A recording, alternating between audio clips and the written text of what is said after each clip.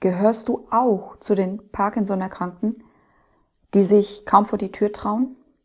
Ein einfacher Einkauf wird zum Albtraum. Ein Besuch bei Freunden sagst du lieber gleich ab. Das Bewegen im Freien fällt dir unglaublich schwer. Du hast Angst, beobachtet zu werden oder entdeckt als Alkoholiker abgestempelt oder was auch immer. Wenn es dir auch so geht wie einigen meiner Kunden, bevor wir angefangen haben zu arbeiten, dann schau dieses Video unbedingt bis zum Ende. Denn hier bekommst du nicht nur Tipps, wie du mit der Situation umgehen kannst, was du tun kannst, damit du dich wohler fühlst, wenn du vor die Tür gehst, sondern auch am Ende noch, was du noch bekommen kannst, wenn du nicht weiter weißt.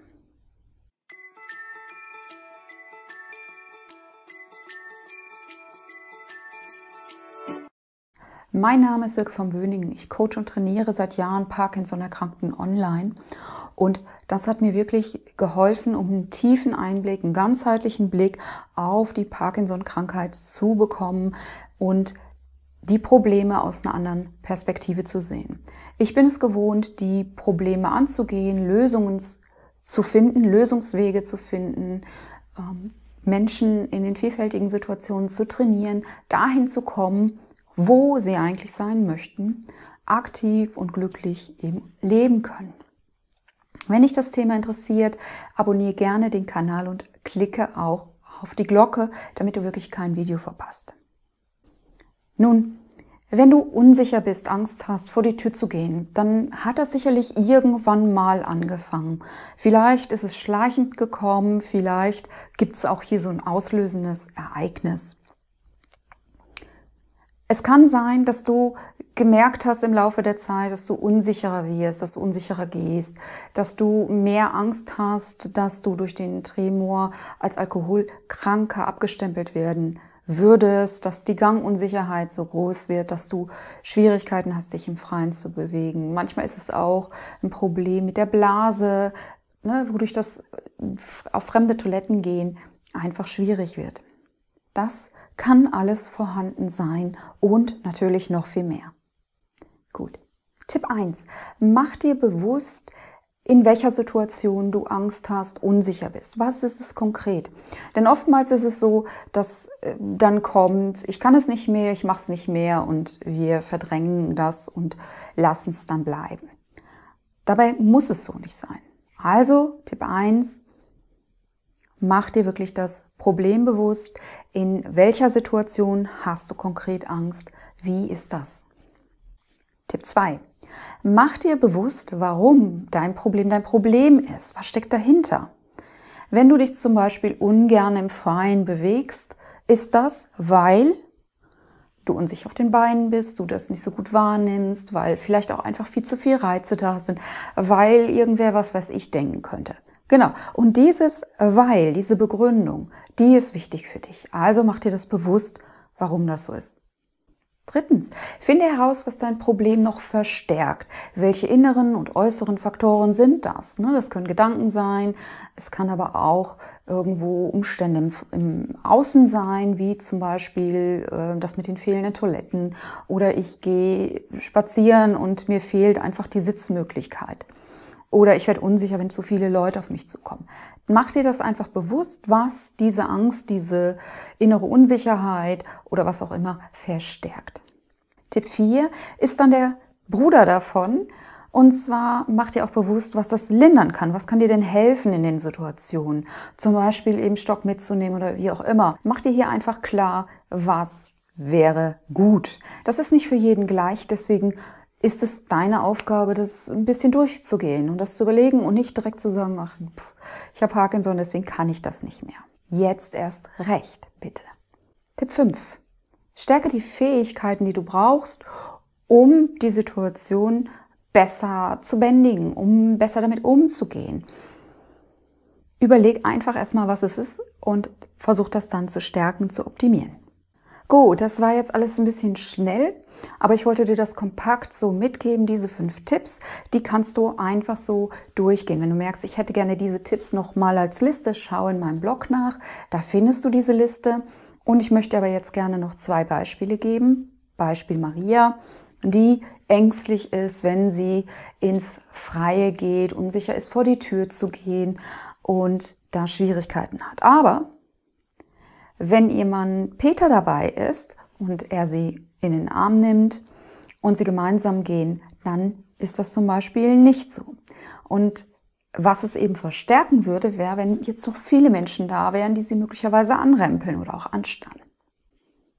Gut, sicherlich ist dir vielleicht jetzt schon klar, dass Maria hier verschiedene Möglichkeiten hat, die sie nutzen kann. Zum Beispiel hilft Maria es, wenn sie mit einem Stock oder Rollator geht, weil dadurch wird anderen Menschen auch schon deutlicher, dass ähm, sie nicht so sicher auf den Beinen ist. Zweitens fühlt sie sich mit dem Stock oder dem Rollator auch sicherer.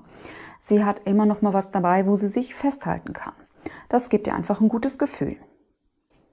Aber Maria kann natürlich auch ihre Fähigkeiten steigern. Sie kann zum Beispiel ihre Gehfähigkeit trainieren, Krafttraining machen, Gleichgewichtsübungen, wodurch sie sich sicherer auf den Beinen fühlt. Das stärkt ihren Körper, aber auch ihr Selbstbewusstsein.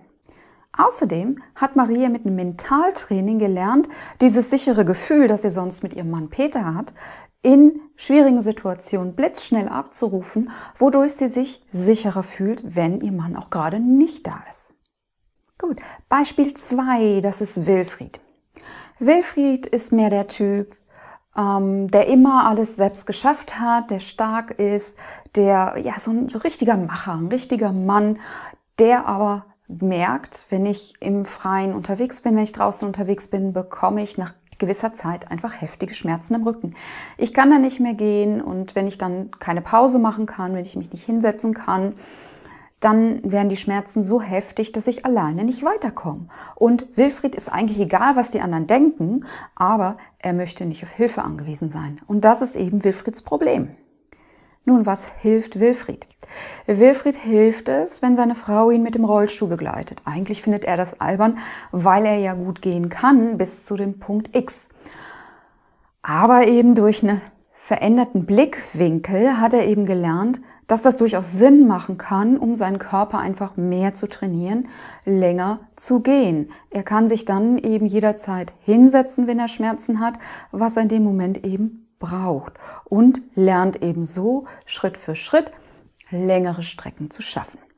Zweitens ist seine Möglichkeit aber auch gewesen, dass er Übungen lernt, die seine Schmerzen unterwegs lindern, die die Krämpfe lösen und so weiter.